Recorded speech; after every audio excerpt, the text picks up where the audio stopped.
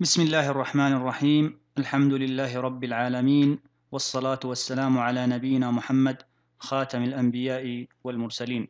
تكلمنا في المحاضرة السابقة عن المدرج وعن القسم الأول منه مدرج الإسناد.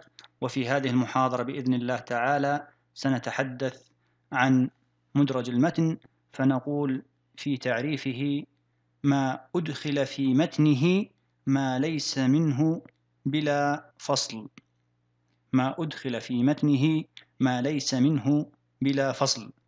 ومدرج المتن يقسم إلى ثلاثة أقسام وهي أن يكون الإدراج في أول الحديث وهو قليل أن يكون الإدراج في وسط الحديث وهو أقل من الأول والقسم الثالث أن يكون الإدراج في آخر الحديث وهو الغالب. أمثلة على هذه الأقسام الثلاثة نتعرف عليها فيما يلي بإذن الله. المثال الأول على القسم الأول وهو لوقوع الإدراج في أول حديث. سبب هذا الإدراج أو وقوع مثل هذا الإدراج أن الراوي يقول كلاما يريد أن يستدل عليه بالحديث. فيأتي به بلا فصل. فيتوهم السامع أن الكل حديث.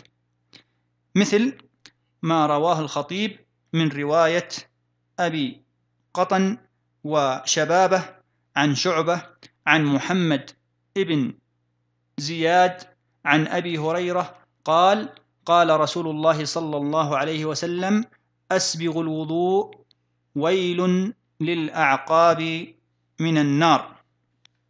فقوله أسبغ الوضوء مدرج من كلام أبي هريرة كما بين ذلك في رواية البخاري عن آدم عن شعبة عن محمد بن زياد عن أبي هريرة قال أسبغ الوضوء فإن أبا القاسم صلى الله عليه وسلم قال ويل للأعقاب من النار. فإذا تبين معنى من هذه الرواية رواية البخاري أن جملة أسبغ الوضوء أسبغ الوضوء هي من كلام أبي هريرة وليست من كلام النبي صلى الله عليه وسلم. قال الخطيب وهم أبو قطن وشبابه في روايتهما له عن شعبة على ما سقناه. وقد رواه الجم الغفير عنه كرواية آدم. كرواية آدم يقصد بدون جملة أسبغ الوضوء. المثال الثاني على وقوع الإدراج في وسط الحديث ومثاله الحديث المشهور حديث عائشة في بدء الوحي. كان النبي صلى الله عليه وسلم يتحنث في غار حراء وكلمة التعبد هذه هي المدرجة. كلمة التعبد هذه هي المدرجة وهي من كلام الزهري راوي الحديث. مثال لوقوع الإدراج في آخر الحديث حديث أبي هريرة مرفوعا للعبد المملوك أجران والذي نفسي بيده لولا الجهاد في سبيل الله والحج وبر أمي لأحببت أن أموت وأنا مملوك. للعبد المملوك أجران والذي نفسي بيده لولا الجهاد في سبيل الله والحج وبر أمي لأحببت أن أموت وأنا مملوك. فقوله والذي نفسي بيده إلى آخر الكلام من هي من كلام أبي هريرة مدرج من كلام أبي هريرة لأنه يستحيل أن يصدر ذلك من النبي صلى الله عليه وسلم لأنه لا يمكن أن يتمنى الرق ولأن أمه لم تكن موجودة حتى يبرها. نتكلم الآن عن دواعي الإدراج.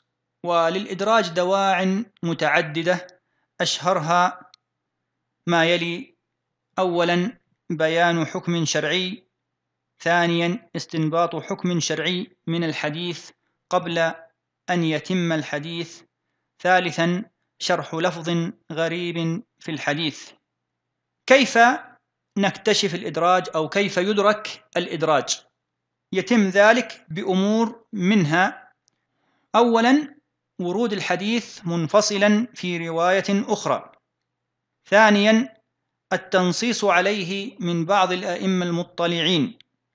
ثالثا إقرار الراوي نفسه أنه أدرج هذا الكلام.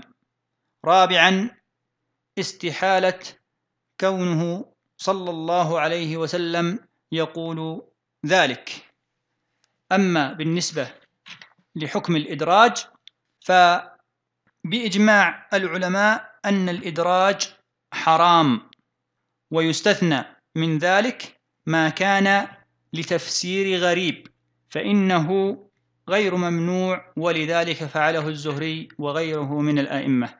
أشهر المصنفات في المدرج كتاب الفصل للوصل المدرج في النقل للخطيب البغدادي وكتاب تقريب المنهج بترتيب المدرج لابن حجر وهو تلخيص لكتاب الخطيب وزيادة عليه.